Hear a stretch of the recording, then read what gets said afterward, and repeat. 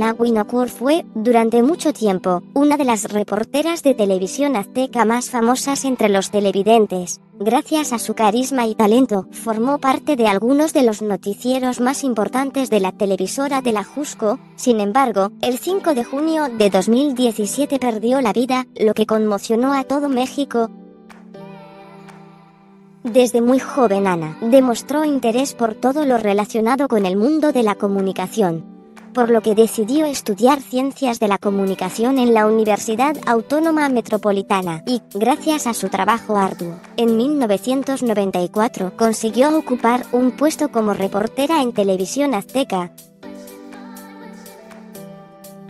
1996 fue un año definitivo para Ana Winocourt, pues se estrenó Hechos, en el cual colaboraba con el conductor Jorge Zarza. Hechos fue el programa que catapultó la carrera de Ana, quien desde ese momento se convirtió en una de las periodistas más reconocidas de nuestro país,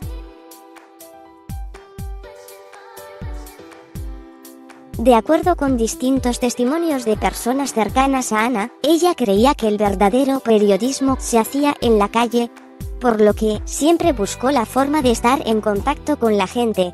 Además, se dice que Ana Winocourt creía en la honestidad periodística, por lo que siempre buscó hablar de temas que ella considerara importantes y trascendentes.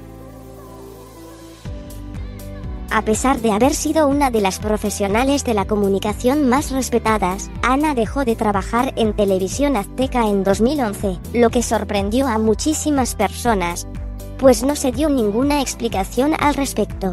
En aquel momento, diversos medios señalaron que Ana Winocourt padecía de una fuerte depresión, por lo que había decidido dejar el mundo de la televisión, pero esto nunca fue confirmado.